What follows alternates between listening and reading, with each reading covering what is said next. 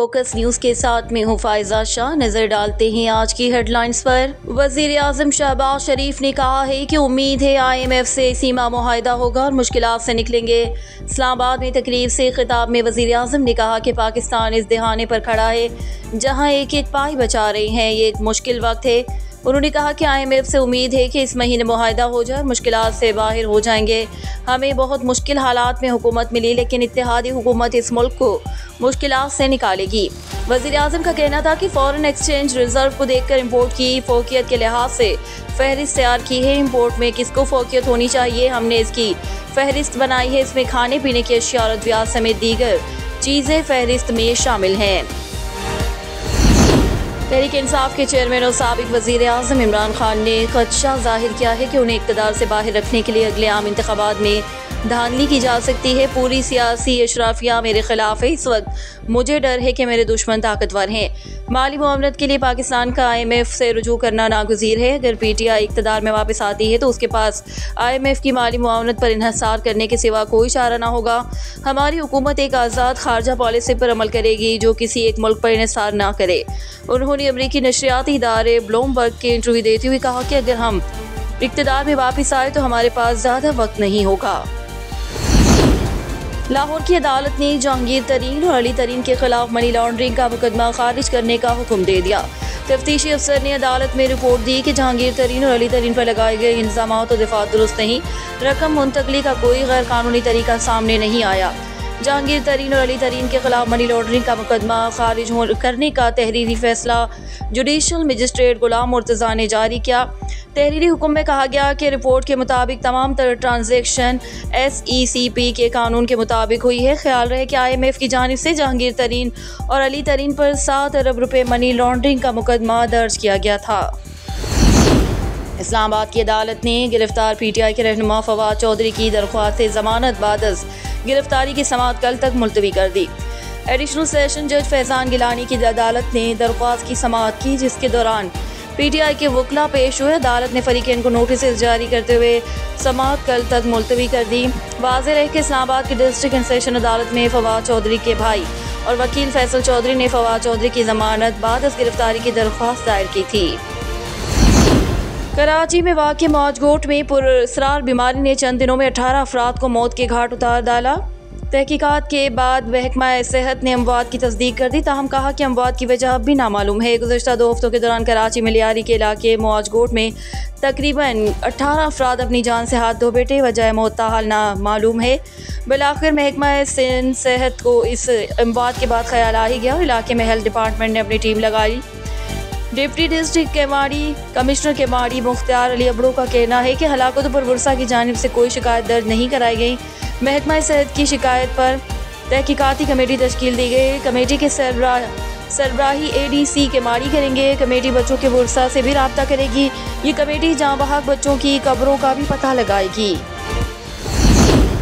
गवादर को 100 मेगावाट बिजली फराम करने का मनसूबा तकमील के आखिरी मराहल में पहुँच गया। जराये के मुताबिक फरवरी में गवादर के लिए 10 मेगावाट बिजली के मनसूबे की कमीशनिंग होगी, जिसके बाद गुजशत दिनों पाकिस्तान और ईरान के आला हुकाम ने जायज़ा भी लिया। जराये के मुताबिक पाक ईरान तोानाई मनसूबे के तहत रवा साल गवादर को 100 मेगावाट बिजली फराम कर दी जाएगी। इससे कबल ईरान पाकिस्तान को 104 मेगावाट बिजली फराम कर रहा है। अमेरिका में पाँच पुलिस एहलकारों पर सियाह फाम शख्स पर सेकेंड डिग्री तशद के बाद कत्ल का इल्ज़ाम आयद कर दिया गया। अमरीकी रियासत टेनेसी में पुलिस एहलकारों ने सात जनवरी को उनतीस साल टारे नेकलेस को लापरवाही से गाड़ी चलाने पर रोका था। मकतूल के फैमिली वकला ने इल्ज़ाम आयद किया कि पुलिस ने पीछा करने के बाद मकतूल नौजवान टारे नेकलेस पर ऐसा तशद किया कि वो नाकबिल शनाख्त हो गया। गैर मुल्की मीडिया के मुताबिक वाक़े की फौरी बाद पाँचों सिया फाम पुलिस एहलकारों को बरतरफ कर दिया गया था।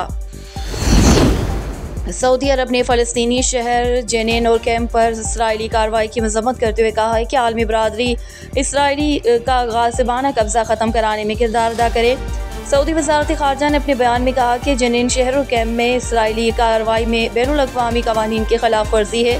सऊदी अरब ने आलमी बरदरी को ज़ोर देते हुए कहा कि आलमी बरदरी को इसराइल की जानब से फ़लस्तनी इलाकों में पेश कदमी, जारियत और गासिबाना कब्ज़े के खिलाफ और शहरीों को तहफ़ फराम करने के लिए अपना किरदार अदा करना चाहिए। याद रहे कि मगरबी किनारे में इसराइली फौज ने जेनेन कैंप में छापे के दौरान फ़लस्तियों को निशाना बनाया। से उन्हें फौज की फायरिंग से नौ फलस्तनी शहीद हो गए थे। भारत में बच्चों की बीमारी से तंग बाप और सबक बीजेपी अहदेदार संजीव मिश्रा ने बच्चों को कत्ल करके अहलिया समेत खुदकुशी कर ली। भारतीय मीडिया के मुताबिक अफसोसनाक वाक़ भारतीय रियासत मध्य प्रदेश के ज़िला वदेशा में पेश है जहाँ एक जोड़े की दोनों बेटे बठों की बीमारी में मुबतला थे। वालदेन दोनों बेटों की बीमारी में पेचीदगियों के सबब शदीद जहनी दबाव का शिकार थे। भारतीय पुलिस के मुताबिक बच्चों के वालिद संजीव मिश्रा ने बच्चों को कत्ल करने और खुदकुशी से कबल सोशल मीडिया पर एक पोस्ट भी की जिसमें संजीव ने लिखा कि खुदा दुश्मन के बच्चों को भी इस बीमारी से बचाए, मैं अपने बच्चों को नहीं बचा सकता और इसीलिए मैं ज़िंदा भी नहीं रहना चाहता। पुलिस के मुताबिक चारों लाशों की पोस्टमार्टम के बाद जहर खाने का इंकशाफ हुआ है। पाकिस्तान शोबिस इंडस्ट्री के पाँच बड़े फनकारों के नाम तीस अंडर तीस जुनू जुनूई एशियाई और फहरिस्त में शामिल कर दिए गए बरतानवी नशियाती इदारे। इस्ट्रोनाई ने साल 2022 के बेहतरीन कम उम्र तरीन फनकारों की फहरिस्त जारी कर दी। फहरिस्त में पाकिस्तान शोबिस इंडस्ट्री के कम उम्र अदाकारों के नाम भी शामिल हैं।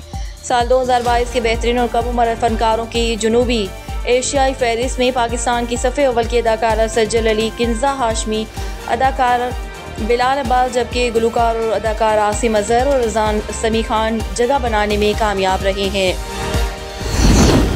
पाकिस्तान सुपर लीग की टीम लाहौर कलंदर के हेड कोच आकिब जावेद ने कहा है कि लाहौर कलंदर ने अब तक जितनी भी टीमें बनाई हैं, ये वाली टीम सबसे मज़बूत है। आकिब जावेद ने मीडिया से गुफ्तु करते हुए कहा कि अफ़गानिस्तान के राशिद खान का चंद मैचेस में ना होने का पी एस एल आठ में भी नुकसान होगा, क्योंकि वो टी ट्वेंटी क्रिकेट के बेहतरीन खिलाड़ियों में से एक हैं।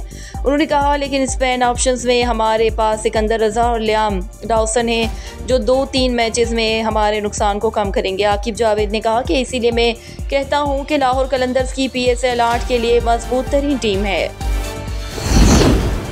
छब्बीस जनवरी 2009 को दुनिया में पहली बार एक खातून के यहाँ बैक वक्त ऐसे आठ बच्चों की पैदाइश हुई जो ज़िंदा बच गए थे। नादिया सुलेमान नामी अमरीकी खातून के यहाँ आठ बच्चों की पैदाइश हुई थी और ये तवील अरसे तक एक आलमी रिकॉर्ड भी रहा जो अब अफ्रीकी मुल्क माली से ताल्लुक़ रखने वाली खातून के पास चला गया, जिनके यहाँ बैक वक्त नौ बच्चों की पैदाइश हुई। नादिया सुलेमान जो अब अपना नाम निताली बताती हैं ने चौदहवीं सालगिरह पर इन बच्चों की तस्वीरें इंस्टाग्राम पोस्ट पर शेयर की।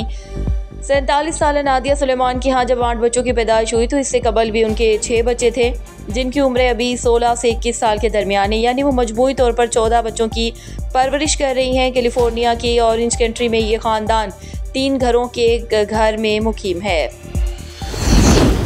पाकिस्तान में डॉलर बे लगाम कीमत दो सौ साठ रुपये हो गई। आलमी मालियाती फ़ंड आई एम एफ़ के दबाव पर डॉलर की मार्केट के मुताबिक एडजस्टमेंट टर्म बैंक में आयद गैर एलानिया के ख़त्म होते ही एक ही दिन में डॉलर की लंबी छलांग इंटर बैंक में अमरीकी करेंसी की कीमत में अट्ठाईस अशारिया पचास रुपये तक का भी रिकॉर्ड इजाफा। ओपन मार्केट में भी डॉलर उन्नीस रुपये तक महँगा हो गया, जिससे एक दिन में पाकिस्तान के कर्ज़ों में भी तकरीबन अट्ठाईस सौ अरब रुपए का इजाफा हो गया। आलमी मार्केट में इजाफे और रुपए की मुकाबले पर डॉलर की कीमत में बढ़ने के बायस मुकामी मार्केट में सोने की कीमत उनचास हज़ार उनचास सौ रुपये फ़ी तोला के इजाफ से बढ़कर एक लाख पचानवे हज़ार पाँच सौ रुपये फ़ी तोला और दस ग्राम सोने की कीमत चार हज़ार दो सौ एक रुपये के इजाफे से एक लाख सड़सठ हज़ार छः सौ दस रुपये हो गई है।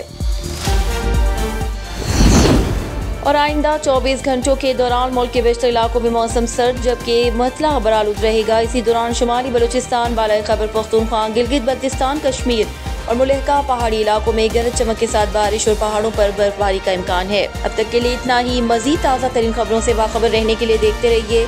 फोकस न्यूज़, मुझे दीजिए इजाज़त। अल्लाह निगहबान